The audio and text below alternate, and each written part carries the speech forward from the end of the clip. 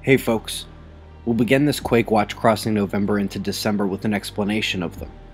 The purpose of this video is to clarify the criterion for Quake Watches, the objective versus subjective parts, and to take a look at the results since I began using this formula. This is not for some science journal, nor a patent, it will never see peer review, any university, commercial entity, or government. This isn't for nothing other than you suspicious observers out there, and for those of you who are going to comment about Patrick Geryl, Solar Watcher, or DC Symbols.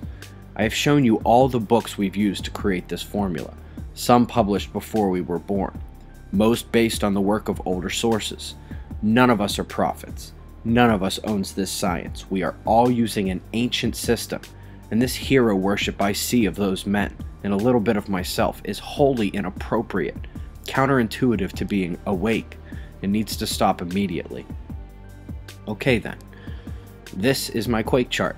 You can see there is a column for significant earthquakes according to the USGS, plus ones they've inexplicably left off like six pointers in Indonesia and the west coast subduction zone of South America. You should be familiar with our planetary conjunctions and oppositions, geocentrically for quakes, like Venus and Saturn to start this quake watch and the Mercury Jupiter opposition to come mid December. I also give a planetary score with subjective variables like multiple alignments, the gas giants, or the sun involved, factoring into a higher score. The most subjective aspect of this is the coronal hole score. Using SDO AIA 193, the bigger, closer to equator, and closer to Earth facing, the higher the score. This is obviously very low, while this one is one of the highest scores I gave hitting all three categories. This one is in the middle. I also have the 24 hour max KP index from the spaceweather.com time machine, minus 3 with a base of 0 to discount against other factors, again, subjectively. Add these scores to make the Quake index. On the far right is the Quake score for that day based on the actual significant Quake events and magnitude, and then a discounted Quake prediction index by half for aesthetic chart making without losing relative correlation. I will note, I let the devil's advocate beat me up here. Let's say I had a 5 day Quake watch and there was a 7 pointer and two 6 pointers on the middle day. My charts take that as one day of correlation and 4 days of failure, just so nobody can say a word about rigging the numbers. Now, believe it or not, that still doesn't kill the correlation, although it does chop it from 70% down to 40%. But with p values at 10 to the negative 20, even the conservative correlation is nearly certain. Now, correlation strength ranges from negative 1 or 100% negative correlation to 1 or 100% positive correlation. 0 is no correlation whatsoever. So my conservative 40% is a moderate correlation. If you like 0 to 100 scales, that would be an 80% score.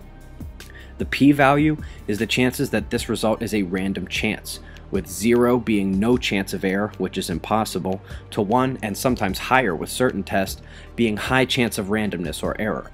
Now 0.01 is considered good, 0.005 is better, and 0.001 is considered the standard. The p-value we have today has 20 zeros after the decimal. Here we are, every day of 2012 to now. Quake index in red, actual quakes in blue. It is clear that the correlation is not absolute. Now, you will see perfectly matching spikes more than you'd expect from random samples, but the most noticeable correlations when you look generally at the trending quake index highs and lows versus the actual quake highs and lows.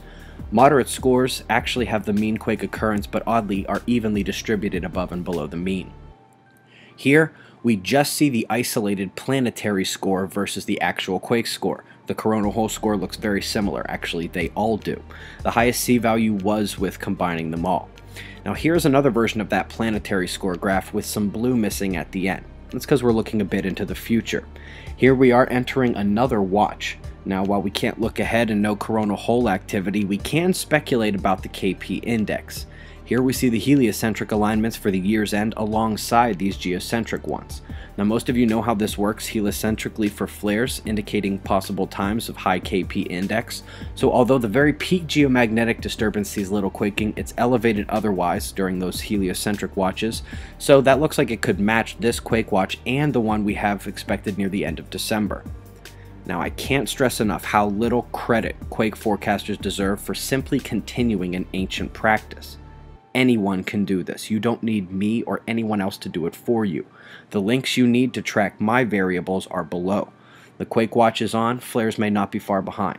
Be safe, everyone.